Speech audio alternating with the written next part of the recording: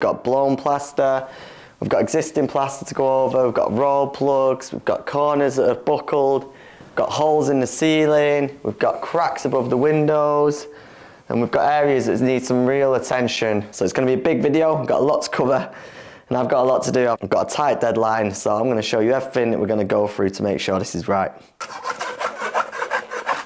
Okay, so first off, we've got to look at the areas that are drumming. Now, this is one particular area around the door frame. What I like to do to test if something's right or wrong is do a knock test. Now, this is an extreme example, but I just want to show you differences so you know if plaster is loose and not fixed to the brick anymore. That is solid. That is drummy. It sounds rattly. It sounds like there's space between the plaster and itself. Any areas like that need to come back. Literally do that with my fingers. Can you see? So that all the way up there needs to come back. That needs to come back. Now what we're going to do is search the whole room for areas like this. Flaky bits of plaster, bit of plaster that isn't fixed to the brick. We've got to get it all back, all off. As painful it might seem. so I'll be honest, there's a lot of areas coming back to this room that I have not allowed for. But as painful as it may seem, you need to get it off and you need to do it properly. Otherwise, you'll just fail.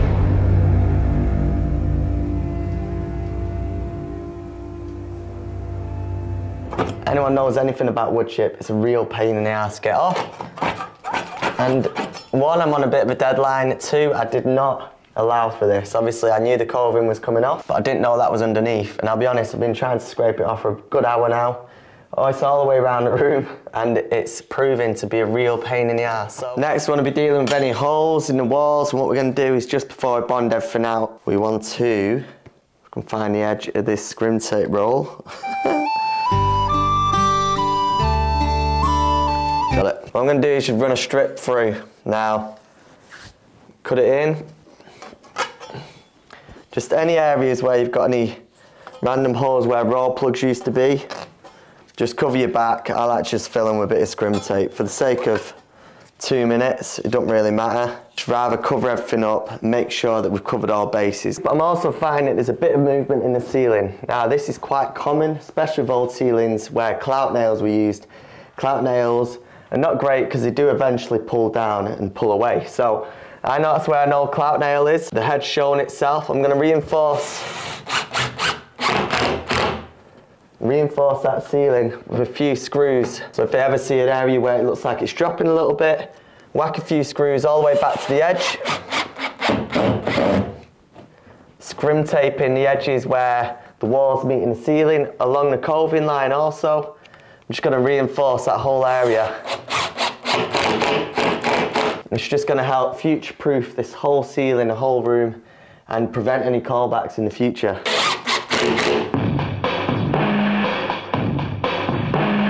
Okay, so we have a big hole in a big ceiling. Now, what we're going to do is fill it. Now, luckily, the electricians have drilled these out so they could put the spotlights in. So they've left same hole behind. Now, that's very, very nice for them. But I'm going to tell you what to do if a similar thing happens where you haven't got it. Say if there's a hole in the ceiling that's quite big, can't fill it with bonding, here's the best thing to do. Get a hole saw set, cut a nice clean hole with a drill, obviously cut it where the hole is, cut a nice hole in the ceiling, get another piece of plasterboard, cut a hole out of that plasterboard with the same bit, and you'll have a perfectly circle hole to cover up the old gaping gash in the ceiling.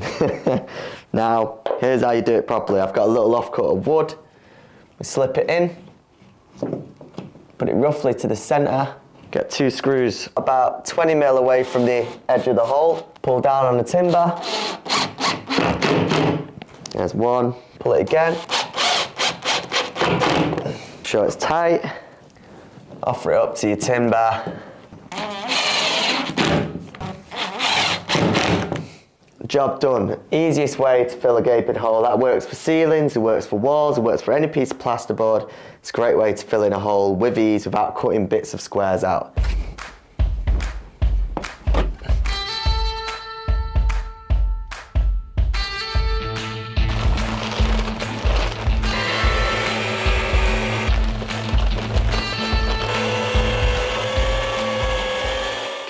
Now it's time to rebuild. We've caused damage, we've prepped walls, now it's time to put it all back together again. So Bonding, perfect all-round undercoat. It's great for filling holes, it's great for working back onto masonry, and any situation where you've got a filling, a crater, a hole, a crack in the plaster, or even where it's close to brick, bonding is your perfect cure. The only time you won't use bonding is if it's right back to brickwork and you're starting again and you want to float and set a wall. Uh, float and set is basically where you build a wall up from scratch just using plaster, no plasterboard. Bonding's not good for that, but for anything else, bonding is amazing.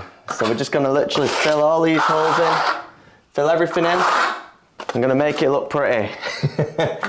There's a few little dips in the wall there, a few little internals. I'm gonna try and straighten them off. I can feel it when I came to the edge of the room, I could feel that it craters in. So I'm just trying to fill them in. It's probably where they've walked, worked up to some boxing Make sure we've got the square edges right. We're just going to create a nice base for the future, which is just plastering this wall and getting it nice again. Now here is a detail. We've got a stop bead leading to the wall. This fireplace was plastered beforehand. Not very well, I must say. But what we're going to do is, if you have that, where you have a bit of a build out, always use bonding to build it out flat. It's just going to give us an easier job when it comes to skimming. I don't believe we're building out with skim coat. I don't believe we're building out the thickness with plaster because it just makes your life harder. We want an all-round flat base to work with, so I'm just gonna flatten that off nicely, build it out with the bonding. Again, we haven't got loads of thickness to get over, but it's enough. It's enough to distract us when you're plastering and potentially stop us from getting a nice finish. So that's a good tip. Any building out, do with the bonding, do it whilst you're prepping the room, do it before you start skimming. Plastering is stressful enough without worrying about stuff like this, so get that flattened with the bonding. Now when you are filling along the tops, make sure that you go both horizontally and vertically, because even here, I can feel that there's some dips in the wall. Now we're never gonna completely get them out unless we float the whole wall, but basically what I'm getting at is the areas we're building out, try and try and build out as best as you can now which again like I said makes all the skimming so much easier so anything we can do to make the life our life easier during the skimming stages is just gonna just make our whole experience a bit nicer like I said it's all about preparation preparation is always the longest stage for me it always takes the longest but it needs to be done I'm obviously working wet and wet here as well, but with practice you can do that. So I'm just filling all the holes, building out the bridges, and to make sure I've got nice flat ceiling walls to deal with afterwards, which is what it's all about. I'll be honest, I've totally underestimated this job in terms of prep. Um, and this is one thing that you have to learn whether you're doing your own room or whether you're doing it for a job. Uh, prep is probably going to eat so much into your time, more than the plastering. Prep is the thing that's going to really take out your budget. It's going to take your time if you're plastering as a living. And yeah, I'll be honest, I've totally underestimated this job. Came in, the furniture was in, the lights were low, it looked pretty good, you know, everything looked nice. And then when the room stripped back and all the covings off and the papers removed, you know, it shows a multitude of sins. So, you know, I could lie to you and, and say to you that Every job I do, I make thousands and thousands, but I don't because the, the real fact is that you know you don't you don't make money on every job. Some jobs are good, some are crap, some are medium, and um, you've just kind of got to swallow the fact that sometimes it is what it is. Big lesson to learn. If you've allowed a day to prep, whether it's for business or your own house, double it.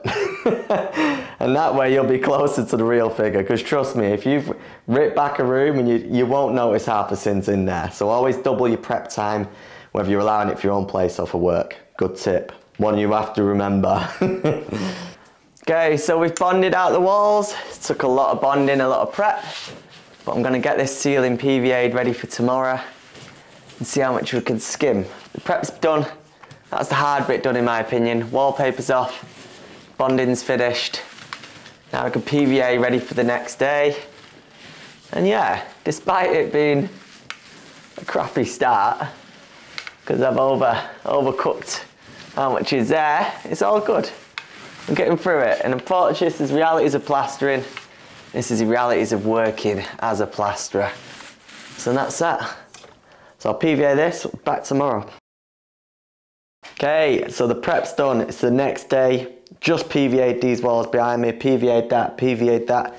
I've skimmed the ceiling. Now, the only reason I'm not showing the ceiling is because I've literally just done a video on YouTube showing you some essential hacks on how to get these ceilings done fast. But not only that, I'll show you why ceilings are probably easier than walls. So click that video there because I don't want to repeat video or myself to the viewers who are watching. So if you are intrigued in watching how you can make ceilings easier than anything else you've ever done, then click that video there. Let's crack on. We've got some door liners to work to. We've got in fact, we've got plasterboard leading into existing. Now what I have done, a quick note, is I've bonded out the difference between the two. Again, everything you want to do plastering wise should be done in your preparation. You don't want to be building out thickness with your finish coat or your skim coat of plaster because it's not designed for that. So anything that's raised, anything that needs flattening, do it in your prep, do it first before you get to do any skimming whatsoever. And I promise your life's just going to be a thousand times easier. So everything's been dubbed out, everything's been flattened. Now we're just ready to skim. But the PVA at this moment in time is tacky. I put it on about an hour ago and went out, put it on just before I did the seal, after I did the ceiling, went out and got some lunch. Now it's at a nice point where it's tacky. Don't get caught up on this. A lot of beginners and a lot of plasterers think, oh, the PVA is not tacky. It doesn't matter. As long as you've got the PVA on the wall, then that's fine. Ideally, you want it tacky, but it's not important. You know, I often PVA the day before, skim the next day. Don't get beat up about it. It's just one of them things where people love it, but it's not always ideal and doesn't always work that way. The good thing about the PVA being tacky on the wall is that you know suction is controlled. Now, there's no way that if you've got a high suction background, a wall that's pulling in fast, that that PVA would stay wet. So one good thing you know when PVA is tacky is that that wall's not going to pull the life out of your plaster. If the PVA is wet, if it's still tacky, that means you've got enough room, enough time for the plaster to sit on there without it drying out too fast. So if you're a plasterer well served or a beginner, the most important thing to consider is suction rates, which basically means how much time you have with your plaster. And the more time you have with your plaster, the better the finish. So that's why tacky PVA is good, but it's not essential because you can still have controlled suction without that. It's just a nice indicator to know that actually it's going to hold the plaster back. So I'm to get this wall on. Nice thick coat because because we've got bonding, because we've got areas where we've built out, we want nice thick coat of plaster to get over this. And general rule of thumb, when you're plastering onto bonding, hard wall, thicker the plaster, in terms of fitness is so much better. So you want to put it on quite thick, especially the first coat. So that first coat is going to take all the damage and basically allow the bonding to suck it out a little bit without worrying. So the first coat of plaster, nice and thick. Okay, so another crucial element is door liners. Now, we've got a weird situation here where the plasterboard is thicker than the liner itself. So I can't really demonstrate the best way to do it. What you would usually do is run up the liner. I'll show you on this section, using it as a gap. And then what you do is run the thickness of the plaster to the liner and then you cut it back. Now unfortunately, the plasterboard's prouder, so we're gonna have to work alongside it. But the idea stays the same. You wanna stay run alongside it, and then that way the architrave is going to sit on top. Now, this is one of them real life situations where, where the board meets the wall, there's a slight point. The stud is further than the wall itself. So unfortunately, we're going to have to work around it. So what happens when you have an area that pokes out? You've got to follow it round. Now, troweling through it. Now you want to build the thickness up you don't want that point to show, but at the same time, if you run up it, you end up with a bare spot. So the other thing is you might have been able to have built that out to the door frame, but since the door frame is shallow, we're at a point where we're kind of stuck. So the idea is get it as flat as possible, but sometimes the circumstances means that you've just got to work around it. In that sense, follow the hump round. It's not ideal, but when we come to spatula, we'll probably work around it. So here we go, I can show you on the top of the liner. Say the liner, I'm gonna run parallel to the liner itself. That way we're gonna get the thickness that works to the timber, and that way that where the path, and that way the plaster is gonna run in line with the frame, so when they fit the architraves, it's gonna sit nicely on there. Now that is still quite a thin profile, but that's what we're looking for, the plaster to sit just along the uh, length of the timber and run parallel across it. So when you are plastering to it, just run across, run down, and that way you'll have a nice guide on where you want your plaster to sit. That is how you plaster door liners.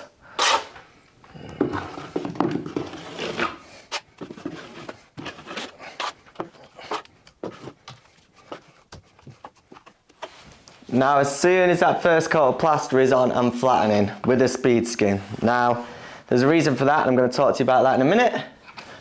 But we are running cross, and now what we want is to get rid of any indiscrepancies between the bonding and the plaster. What we will have where we've bonded out the areas, it's undeniable that you're going to have some dips. Now what we want to do is flatten them, but also find out where they are. The good thing about these, using a speed skim spatula, whatever you want to call it, it'll highlight where your low spots are because you'll see where it hasn't touched the plaster. You'll have areas where you've got stretch marks across it and areas where it hasn't been touched.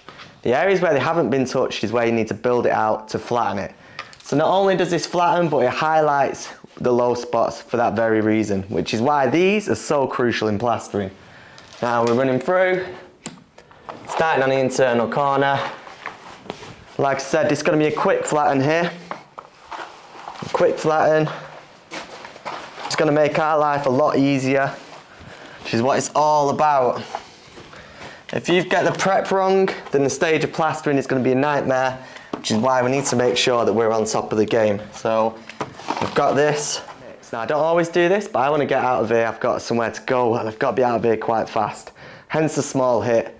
But I use the same mix of plaster for both coats. Now this does two things, speeds up the process, saves the mixing, saves the cleaning, but also eliminates the fact of inconsistent finish. I've been having a lot of comments saying they're getting patchy finish, inconsistent ripples, and what it is, what ultimately comes down to, in my opinion, is the first coat setting too fast. Now, you might have the first coat on, you might have flattened it, but sometimes them ripples can still show through on your second coat. And that's because the first coat set a lot faster than the second. You put the second on top. Any indiscrepancies in that first coat, it's too late to do anything about it.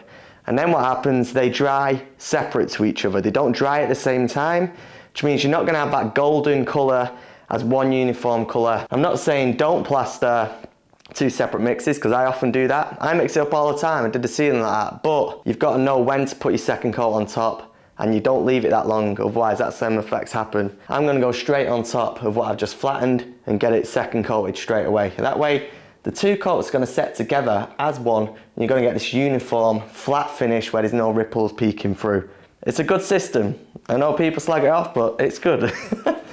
now it's also good for highlighting the bad spots. Now that bump in the plaster, there's still a bald patch showing here where it's peeking through but we should leave that with a second coat. So speed skim is also good for flattening any areas that have got any dips or bumps. Like I said, there's a bit peeking through, but we should get that with a second coat. So we should lose that ridge on the wall and get a nice flat finish. Again, it's not always possible. Sometimes you have to follow the wall. So now the problem with second coat when you've got a thin liner is you can't put too much thickness on because this is what we're governed by. But still, we want to run into it and trowel up it. Now, even if it means we're just putting a few extra mil on, we're still governed by the liner because you can't have the plaster prouder than the liner because when you put the architraves on, it'll rock out and it'll make it harder to get a nice cut or a nice fit. So we want to run into it, but basically be very careful of the thickness we're working to. So it's a double-edged sword with liners. Sometimes they're right, sometimes they're not, but you just do your best. That's all you can do. In terms of second coating, it is, I like using the same mix. You can feel it tucking nicely into itself. The second coat sits nicely on the first.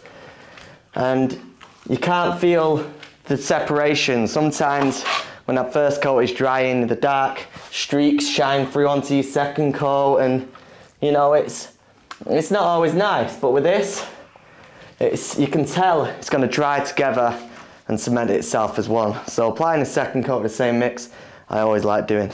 Now if you want to be efficient with your time, we've got a corner and you've got some leftover plaster, let me show you some. Take your gear, put it on the edge, only a little bit, little slivers, just little bits along the edge there.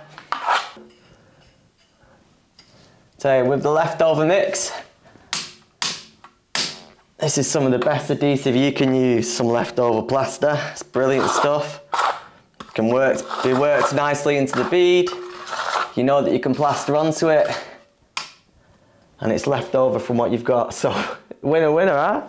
and talking about motivation, one of the things that's really changed me at the moment is I'm listening to a lot of audio books, you know, just, I work alone a hell of a lot of time. It can be lonely sometimes. And even though it's my choice, I do sometimes think, why am I always alone? But been listening to David Goggins' uh, Don't Give Up audiobook. Christ. And whatever you want to do in life, maybe you're watching these videos because you want to do up your own house, or maybe you've got three kids, you've had enough for the job, and you want to do plastering for the rest of your days. I don't know, but whatever your aims are, just listen to this man's book or just read it. He's a nutter. He's He's done the seals on two broken legs. He's broken world pull-up challenges. He's done 60 ultra marathons. He's and all this from from he came from a broken home where he's never going to amount to anything. The guy's a nutter. So what's totally changed me and my working life is just listening to this guy. Seriously, David Goggins, look him up. He's a beast. So if you work alone and you're doing this in your spare time, give that a go because I tell you, it's, it's, it's game changing, mate. You might have seen me carrying a midget trowel. Now you might be wondering why is he walking around one of them? So, tight spaces are a plaster's nightmare. And unfortunately, there's no shortcut around it other than just using the nice small trowel and breaking it in. So the one tip I can give is get used to using these small trowels. Get used to them. Use them as often as you can because there's no shortcuts to this. The only way to get used to plastering these small areas is by doing them a lot and getting used to using a smaller trowel compared to your big one. But the one thing I will say, if you do get a small trowel, keep hold of it for life. This is seven years old, they take forever to break in. So small areas are real pain to plaster. Get a good trowel and keep it forever because the more you use it, the more it'll break in, the easier the process is gonna be. So there's no, uh, there's no shortcut to this, I'm afraid, guys. There's no easy way out. So you gotta keep using it. Now, because of the prep, because of the PVA in, because of the speed skimming, and all the conditions after it, this plaster is lovely, easy to work, there's no stress, nothing setting at an abysmally fast pace, it's nice and flat, and that's because of the prep we did beforehand, and the fact that everything from now on, like I said, the skimming's easy, if you just get the prep work ahead of yourself. So now, that's how you master doing rooms in plastering. The secret isn't how you skim the walls, it's how you do the prep work, it's how you get everything after it. So this, from now on, is very straightforward. It's all just skimming, flattening, and it's very easy going. If you're new or you want to improve the game in plastering, you want to learn a full process to plastering, which we're not going to go into today unfortunately, click the link below we do a welcome course of plastering beginners where we'll teach you the full process to plastering from mixing to application and we'll show you the seven steps to plastering which is ideal for anyone who wants to learn how to get a nice flat wall even if they've never done it before. And we'll email you every day with fresh videos until you get to the point where you can start plastering. Thanks so much for watching. I'll see you next one. Cheers.